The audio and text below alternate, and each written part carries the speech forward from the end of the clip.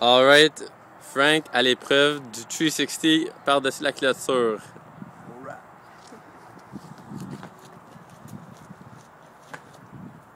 Woo! That's it.